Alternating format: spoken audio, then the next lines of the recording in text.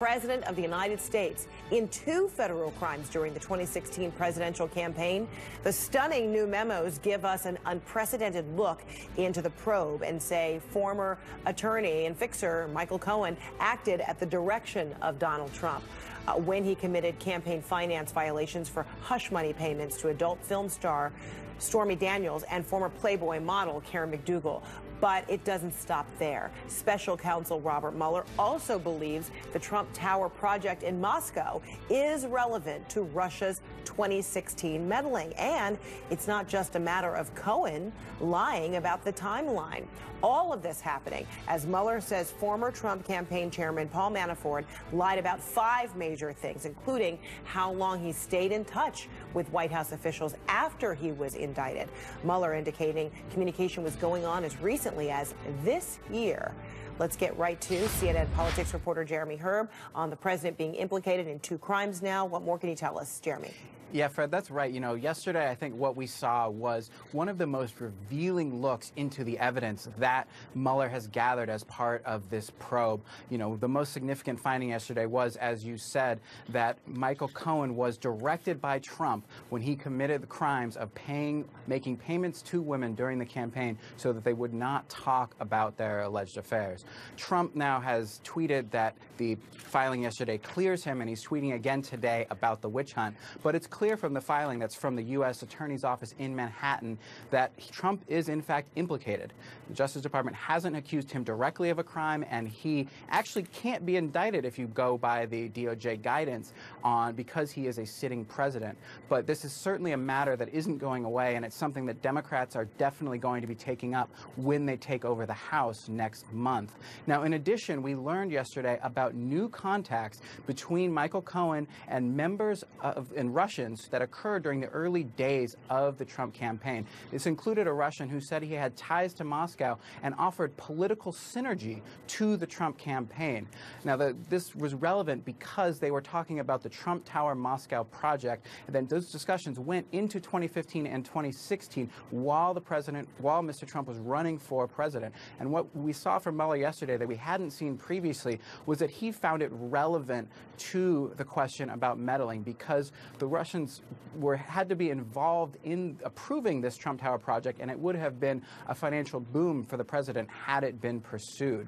Now, Michael Cohen has been recommended a, to have a substantial prison sentence by prosecutors in yesterday's filing after he had actually asked for no prison time. Uh, he's charged with financial crimes, including tax fraud. He's charged with campaign finance violations tied to those payments to the women. And he's charged with lying to Congress about the Trump Tower Moscow project. We'll see exactly how that shakes out next month when Mr. Cohen is sentenced. Fred. All right, Jeremy Herb, thank you so much. So President Trump is declaring victory in all of this. The president tweeting this morning after two years and millions of pages of documents and a cost of over $30 million, no collusion. Our White House correspondent Boris Sanchez joining us now uh, with more on the president's sentiments here. Boris. Hey there, Fred. Yeah, President Trump taking to Twitter this morning, as you noted, to write that there was no collusion last night, as, as Jeremy referred to it. He tweeted that these uh, sentencing filings cleared him. That, at the very least, is uh, inaccurate and incomplete. Uh, the White House essentially dismissing uh, the implications that Jeremy outlined. Uh, Sarah Sanders put out a statement yesterday uh, referring to all of these filings. And specifically, I wanted to refer to things that she said about Michael Cohen and Paul Manafort. Here's what she said about the Cohen filing. Quote, the government's filings in Mr. Cohen's case tell us nothing of value that wasn't already known. Mr. Cohen has repeatedly lied, and as the prosecution has pointed out to the court, Mr. Cohen is no hero.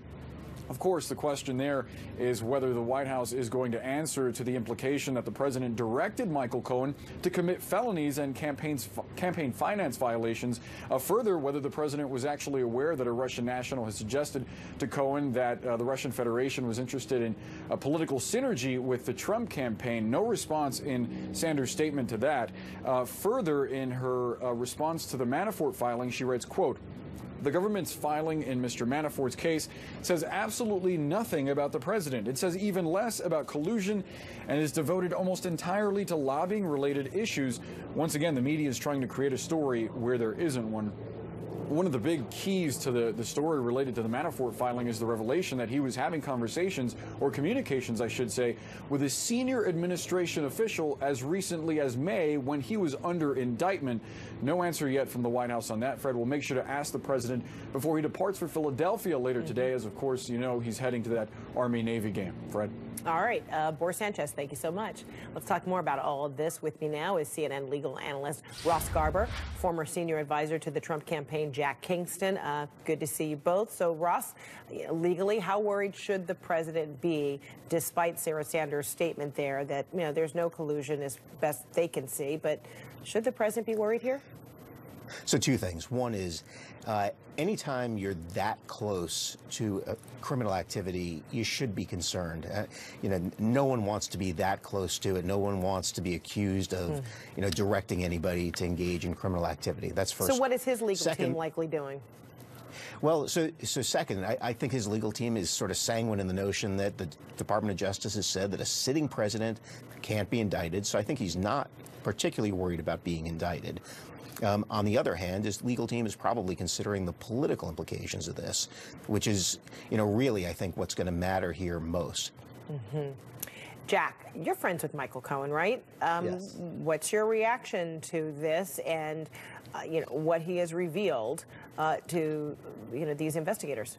Well, unfortunately for Michael, he's been all over the place in terms of what his statements are, who did what, and when did they do it. Um, uh, acting on behalf of the president as a non campaign person, and people have to remember that Michael Cohen was not part of the campaign. Um, if he paid off these women under Trump's direction, yes, that's an issue. But um, as I read this, that um, he paid them off and he had lied about it, and it's a campaign violation. It's not a matter of collusion with the Russians. As respects the Russian well, operative, that's separate. Well, uh, that's yeah, separate. That's, I mean, he paid absolutely. them off at the direction of now the sitting president, but at the time, you know, the the, the Republican nominee. But, so but that's where but, the campaign finance. But, but then, remember, that's according to Michael, and he's not a credible witness at this point. But the other part about the collusion was, and the report does say it, that this Russian operative reached out, a Russian nationalist, and said that he could offer political synergy, whatever that is, and it was not followed up on. And that's what the report says. It was not followed up on. And um, now, had he, you know, pursued but that, there was a said, willingness to entertain it.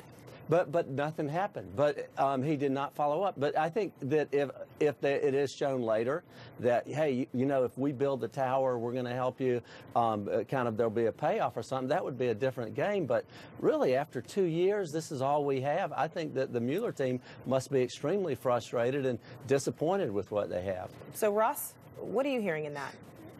Yeah, so Jack actually makes a, couple of decent points. One is I do get a sense from the filings, uh, you know, from both Mueller and the SDNY that they are frustrated by lack of cooperation by some people they thought were were key.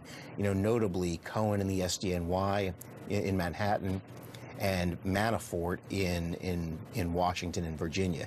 I, I, think the special counsel is frustrated that those guys sort of can't give them the goods on Trump uh, in certain respects. You know, second, I think I think the filings were notable for their lack of allegations of conspiracy, actual conspiracy, you know, with the Russians. And then, you know, Jack does make a point about the campaign finance violations. It's one thing, you know, for Mr. Cohen to admit that he engaged in campaign finance violations. It's another thing uh, to prove that the president mm-hmm. was authorizing, directing these payments for the purpose and, of uh, a campaign contribution. And so these are, you know, Jack has some fair points. Mm-hmm. And this is information based on sentencing documents. This is not the whole kit and caboodle. This is just a very narrow scope. Well, right, that's Ross? right. That's, and, that, and, and let me say where Michael, but Michael, you're 100% right that there are political implications. So if I'm Adam Schiff or Jerry Nadler and I could maybe, um, you know, hit the president up on something on his taxes or some other thing that comes from the investigation, this helps undermine the administration. So absolutely, I think you're correct that there are political implications from it. Okay. So Ross, one more. Yeah, no, for sure. So, you know, a couple of things I think to look for. One is that Michael Cohen's sentencing is coming up, and, you know, I wouldn't be surprised to see him get less than the three and a half years that the government is asking Why? for. Uh, that's a lot of time in a white collar criminal case for a first time offender, you know, for these kinds of allegations, you know, issues of lying to the government, Congress, uh, you know, tax evasion, and, and making a, you know, false But statement a potentially bank where there's impacting a no loss. presidential election, that's not, a, that's Yeah. nothing to sneeze at. it, it is nothing to sneeze at. But but again, you know, let, let's you know let let's see what the judge does with this. I I- I'm just giving you you know sort of my take straight up. Mm-hmm. I think a judge is going to consider this serious, but but perhaps not give. Um, Mr. Cohen, the three and a half years that the government wants. But second, I think the next thing to look for is, you know, sort of Mueller's next steps. You know, what comes next from him, and then the political implications. We're just a few weeks away from the Democrats taking control of the House, and I think we'll see activity there. Okay. And and so Jack, you know, how worried do you believe that the president should be? Do you believe that his, you know, responses this more this morning, you know, via tweet are a bit cavalier, or is that just simply masking that he no. has reason to be very concerned? I, I, I don't think I don't think so because I just don't think that Michael Cohen is is a guy. And, and there was eight pages of criticism in the uh, Southern District of New York's analysis on why he should have a maximum prison sentence because they said he overclaimed his access to the presidency, he overclaimed his importance, and he was trying to monetize on his relationship to the campaign and the Trump family. I mean, they, they were very scathing of Michael Cohen. Um, and so I just don't think he's going to be a credible uh, witness against him. Um, the president, I, I believe if there was anything like a memo that said, please pay off uh, Michael Avenatti or Stormy Daniels um, or Karen McDougal, I think that we would know that by now. Um, furthermore, I think we would also know that, uh, yes, they did follow up with this rep- uh, uh, Russian nationalist who did promise some kind of quid pro quo on if you build a, a tower here and you give a, a top penthouse suite to Putin, then we're going to do the following um, for you through WikiLeaks or some other thing. And, you know, really after two and a half years or two years, I believe we would know something uh, if uh, Mueller had that. But these evidence. are two big things. I mean, Ross, when you're talking about, you know, campaign finance, you know, violations, that's one. And then you're talking about the a probe that focuses on a campaign, an American campaign, um, Yeah. working with a, a, a- an adversarial foreign country. Uh, I mean, these are very serious, you know, matters. So, uh, how does anyone explain all of the lying that has been that has surrounded particularly you know any russia interactions and you know and and does will this in, investigation get to the core of you know why uh, what's with the, all these dealings of Russia? It can't strictly, or, or is it only about some kind of business opportunity that could have been a Trump Tower Moscow? Look, that is the big question. I think you know. I think we're all looking for the answer to that. I, I do think that you know this notion of, of lying, or I, I think as the president has called it, truthful hyperbole. I think that is going to be a problem for the president. And, and honestly, I I found his sort of communication strategy uh, in a way inexplicable. You know, I, I think his tweets uh, while you know clearly directed to his base, that makes sense. I think they don't make much sense. I think it is it is a terrible idea to have Sarah Sanders, a government employee, mm-hmm. commenting about these personal issues. And, and I think overall, I really do think he probably needs a, a legal communication strategy because I'm I'm not getting. But would he listen? point. I mean, you know, there have been a lot of advisors or strategists, No, et cetera. sure. and There are many examples of people saying they advised or, you know, against or for something, but he's the president's still doing his own thing, Jack. Yeah. The, I, I don't think um, the president would take counsel of somebody. Uh, he loves to talk directly to the uh, American people. And, you know, the interesting thing, and I can say this all during the campaign, anytime you second guess where the president was going with his communication, it turned out he knew exactly what he was up to. But, um, you know, I, I will say that this, I want to get back to something Ross pointed out that um, when it comes to Paul Manafort, there's so many questions because there were so many dealings. And one of the, the questions A lot of the information is redacted, so we don't really know, but it was it involved a $125,000 wire transfer to a firm who, whom he had employed. Now, uh, the assumption could be that that's Tony Podesta's firm. And it would appear that uh, some of the redacted information may be going after the uranium one question uh, because when, when it comes to influence in the election, which is the central question, is it not possible that they were also trying to influence through the back door the Hillary Clinton campaign? And I think that most people in a fair minded way said absolutely. And um, perhaps the Mueller team is looking at some of that stuff All finally. right. Well, except we, we don't know any of that yet.